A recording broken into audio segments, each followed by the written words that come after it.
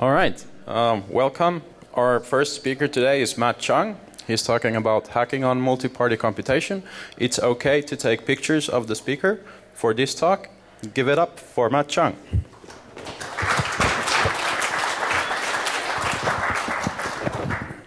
All right, thank you.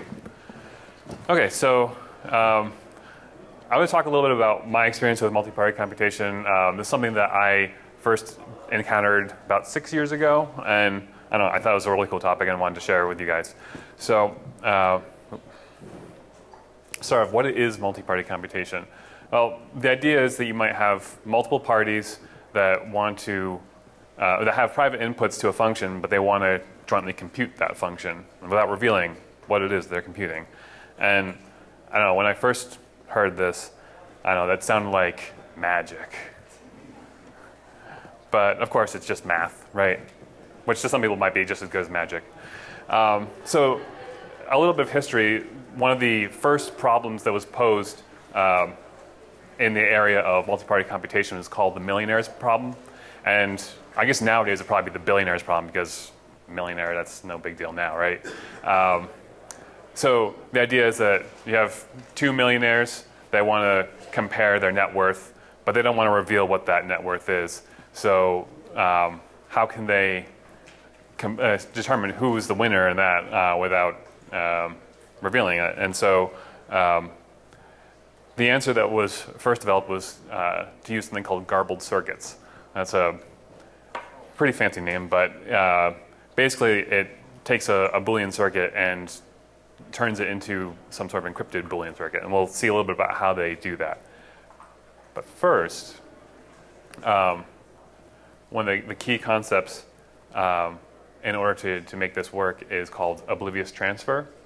And so the idea here, and this is, I think, one of the first things I was like, oh, this is magic, um, is that say I'm, uh, I have two pieces of information and uh, you want to request one of them without telling me which one you requested, um, and I want to send it to you, but without revealing the one that you didn't request. And so um, that's what Oblivious Transfer does. It allows you to request a piece of information and only get back what you requested without telling me which one you requested. Um, and this is just like in more formal language what that is. Um, okay, so what is the whole garbled circuit protocol? Um, so first, you have to take your function and describe it as a Boolean circuit.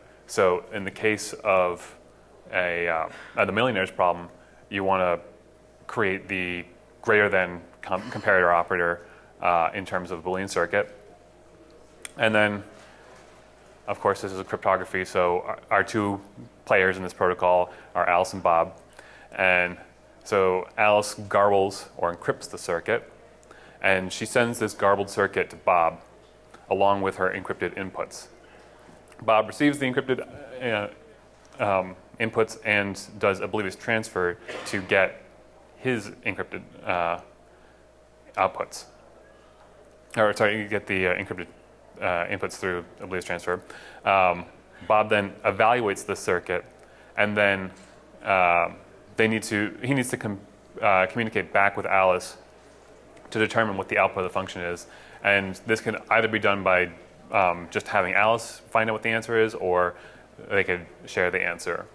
But um, this allows uh, evaluation of essentially arbitrary Boolean circuits, but it is um, relatively so. It requires a lot of communication. Um, so a different uh, mechanism for uh, doing this kind of multi-party computation is what's known as homomorphic encryption. And this is something that uh, was observed early on with one of the first public key crypto systems, RSA. Um, and um, there was, it was observed that RSA exhibits a multiplicatively homomorphic property. Um, also, another encryption scheme, which isn't quite as widely used, but um, was defined uh, about the same time, was uh.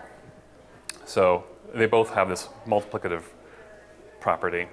And just to give a brief overview of this, Um, so, uh, briefly, an RSA public key is um, a pair of numbers n and e, and uh, not, without getting into the details about how uh, about e and everything, um, n is a product of two large primes, p and q, and to encrypt a message, we simply raise well, we view the message as a number from uh, 0 to n and uh, raise m to the eth power. And it was observed that if you take the ciphertext of two, the two ciphertexts and you multiply them together, just because of the way that multiplying uh, two numbers with raised to the same power works, that's the same thing as encrypting the product. So um, you have this property. You can, I could give you two, uh, or you could give me um, two values that have been encrypted with RSA. I can just multiply them together, and give that back to you, and then that's the um, an encryption of the, the product of the original numbers. Now, this is, uh, again, with unpadded uh, RSA, like sort of the textbook RSA, but uh, it's an interesting property to observe. Elgamal um, is uh, a, different scheme that um, not as widely used, but um, and I'm glossing over a bunch of details here, but um, the main uh, point is that there's a, a, public key that specifies a prime number, um, and oh, I guess there should also be a generator there, and a um, public value y, and to encrypt. Uh, each time that somebody encrypts a message, they generate a random number r, um, raise g to the rth power mod p, and multiply the message m by y to the rth power. And just like with RSA, this has a multiplicative property. If you do component-wise multiplication, um, the, in the first component, the exponents add, but that's just another g to random number. And uh, in the second component, you have the m1 and m2 multiplied together times y to that same random number that g is being raised to. So um, it's, uh, again, multiplicatively homomorphic. But uh, something that's perhaps a little bit more useful, uh, and at least something that I actually had used before, was additively homomorphic encryption schemes. So, whoa, that's loud. Um, the first one is uh, additive Elgamal. So we could actually modify the Elgamal scheme that we saw before to produce an additively homomorphic scheme. Um, and then there's also Paillier, which um, actually works out a little bit better. But we'll start off with additive Elgamal. So this just requires a uh, slight tweak to the original scheme. So instead of um, multiplying just by the message, we're going to raise uh, the generator g to the mth power. Uh, and then uh, when we multiply component-wise, the addition will happen in the exponent. And um, though there is a little bit of a problem with this scheme in that when you try to do the decryption, you'll do the same process as you do normally, where what you do to decrypt is raise the um, first component, that's the G, to the X power, that's the private key, and um, that will give you uh, the y to the r1 plus r2, and then you can compute its inverse, do that multiplication, and you're left with g to the m1 plus m2.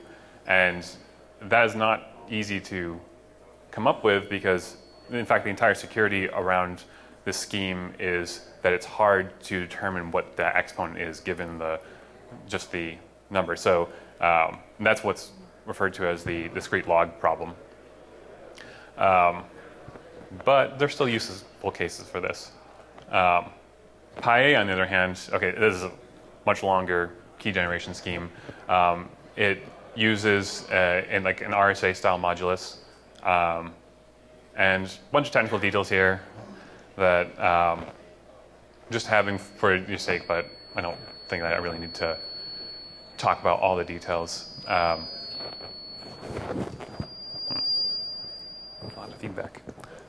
Okay, so, um, but the upshot of all this, so this is the encryption uh, algorithm, and then to decrypt, uh, it has this nice property that, uh, I guess going back, you see that just like with the additive Elgamal, the message goes in the exponent of this G value. And so when you multiply ciphertext together, uh, you'll have that additive property. But um, this essentially allows you to complete compute discrete logs uh, easily if you have the private key information. Um, so, uh, so far I've just talked about a multiplicatively homomorphic scheme or an additively homomorphic scheme, but um, what would be really nice is to be able to do both or have a fully homomorphic scheme. So have it so that it um, can be added, um, compute addition and multiplication on the ciphertext. Um, it turns out that uh, so this, is, this was, I think, first accomplished in 2009 by Craig Gentry.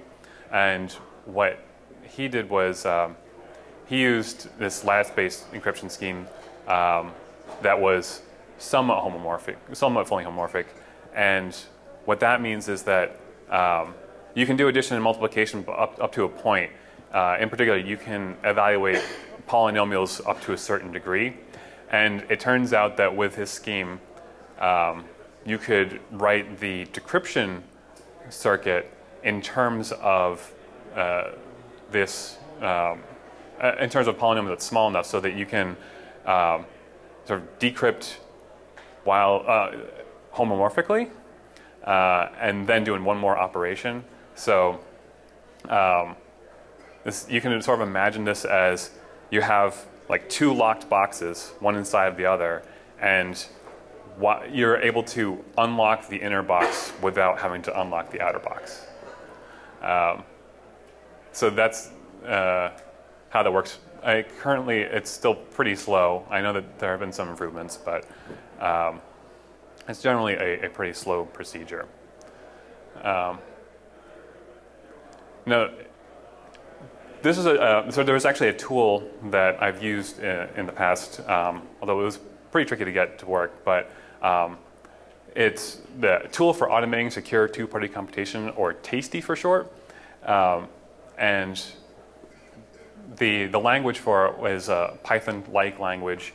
Um, and what you do is specify what the client and server operations are, and it would compile two, two separate binaries, a client and server, for you. Um, and it actually supported both additively homomorphic encryption and garbled circuits. So you could actually combine those two operations into a single protocol.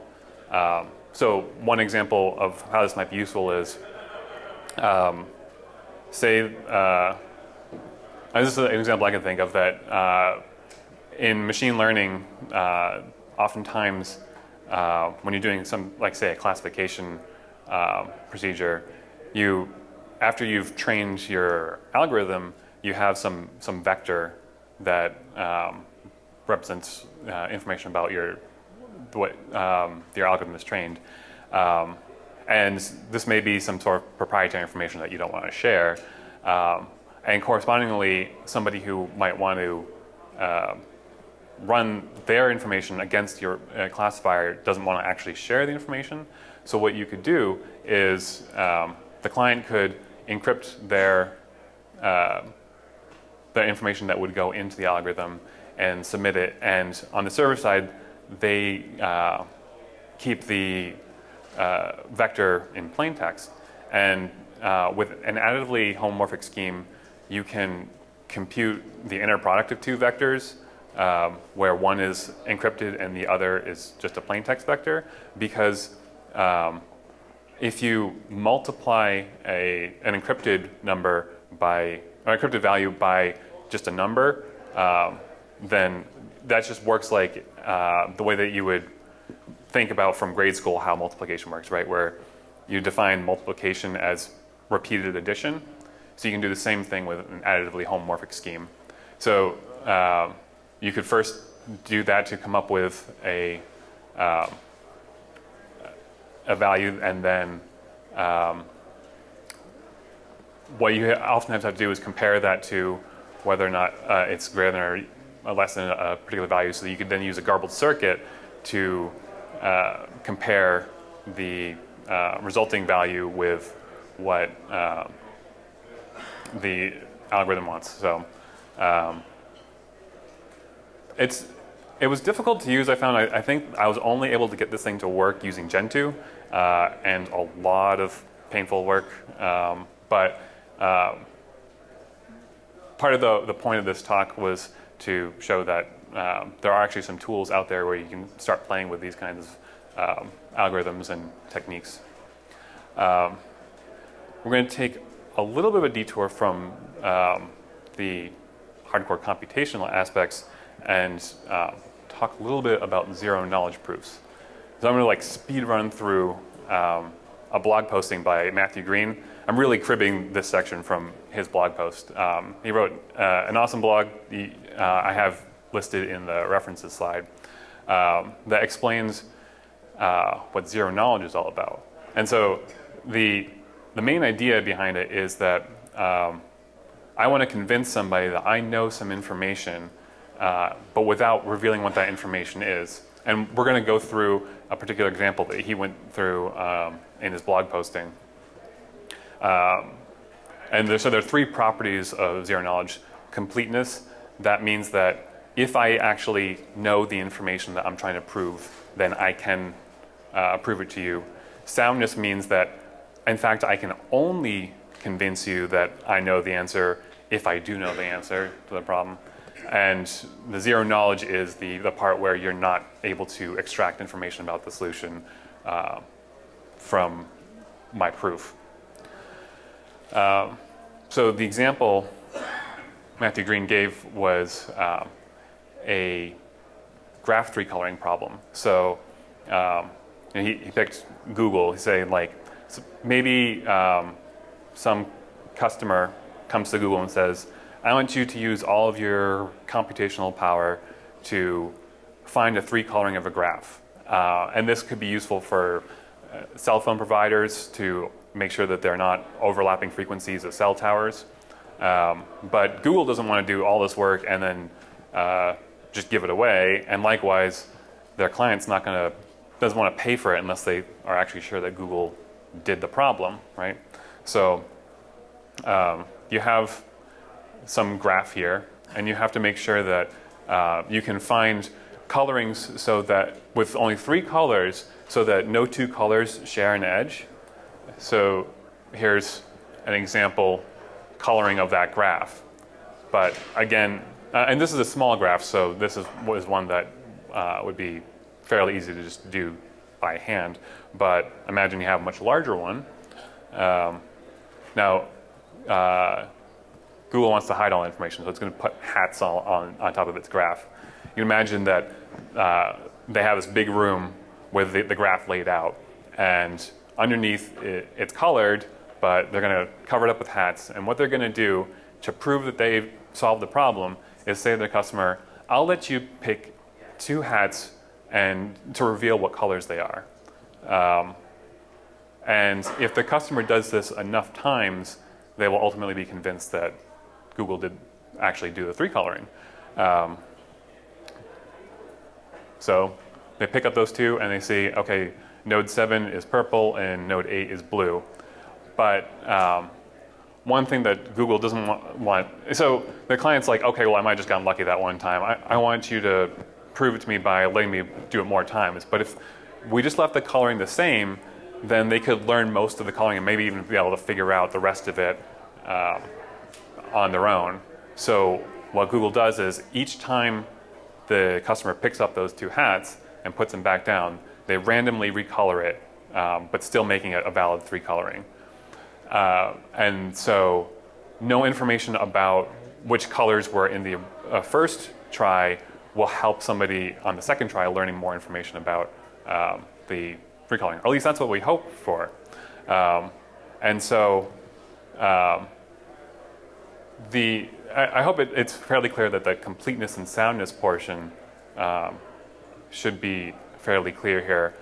The interesting thing is, how do we know that this is really not leaking any information about the three coloring?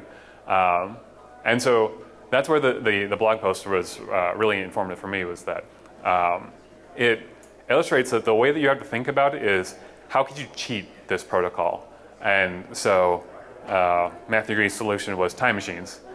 So um, now what does he mean by that? Well, suppose that Google was cheating and just came up with a random coloring, and anytime they got caught, they hop into a DeLorean, go back in time, and change the, the, the coloring. Um, because like they know which two hats they're going to be picking, so they're like, all right, we're just going to make sure that those two are, are, colors are different. Um, now, uh, it turns out that this procedure would be indistinguishable from if they had actually done it correctly.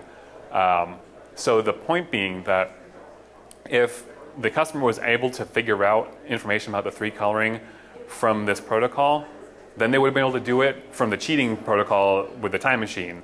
But that was garbage. So that's the, the general idea of the proof of that um, they're not able to extract it when it's actually done correctly. So um, this is, again, another tool um, developed by uh, the folks at JHU and Matthew Green in particular, um, which I haven't had a chance to play with yet, but I've been meaning to. Uh, it's um, called Charm, and it supports a number of crypto primitives, uh, including, uh, as it says here, like some, some basic math things, rings and fields, uh, elliptic curves, uh, and uh, zero knowledge proofs, all that kind of good stuff. So um, something to take a look at. So why did he go off on this zero knowledge stuff? Well, there are two uh, security models for um, these protocols. Uh, there's honest but curious and then the malicious model. And um, honest but curious is what you might think. It's just, I'm going to run through the protocol correctly and I want to get information about um, what uh, the other person had put into it, but I'm not going to try and cheat. And the malicious one is I'm going to try and cheat as much as I can, and you have to try and catch me. And um, so that's where the zero knowledge proofs come in. Is that the zero knowledge proofs are used to detect cheating and allow somebody to abort if the cheating is detected. And um, so I'm going to briefly talk about, uh, like really briefly, talk about this protocol that um, I helped uh, do some implementation work with um, six years ago. Um, this is called, it was a secure text pattern matching algorithm called 5PM. And um, I'll briefly illustrate, this is the sort of insecure version of it. The idea behind this protocol is that um, you set up these what are called character delay vectors that tell you that if a letter in the, the pattern that you're looking for is found, then let's just assume that we found it in our pattern, how, might, how many steps further would we have to go before we reach the end of the pattern? And we put a one there. And um, so that's what the, the uh, vectors over on the left are. And we just go through the text on the server side and we add and shift down. And um, we can use an additively homomorphic encryption scheme to replace the replace this insecure version with a version that operates on encrypted data. And um, so you can use Paillier or additive Elgamal, elliptic curved Elgamal. Um, and uh, that's how the, the honest but curious version works. In the malicious model, um, we use a couple of things. One thing is called threshold encryption, which allows uh, the two players to jointly come up with an encryption uh, key that they will then use to uh, encrypt both of their inputs they actually swap, both go through um, that same uh, text search protocol um, using some linear algebra, and then they use zero knowledge proofs to detect if one or the other is cheating and, and abort uh, in that case. And so I'll quickly conclude with saying that um, cryptography generally um, is kind of about uh, anytime that you want, you wish you had some third, trusted third party who could handle information for you, uh, we're going to use cryptography to do that instead. And there are some tools out there that you can try to use. Um, you can try to use some of your own implementations. I actually just recently sort of redid the honest but curious version of that protocol in Python, like during a hackathon at night, really quick. Um, but of course, don't rely on anything that's not been verified. And uh, with that, there are some references, uh, but I'll be releasing the slides uh, after the talk. So, uh, and I'll tweet about that at the, at Crypto Village. So I think I'm just out of time. So thank you.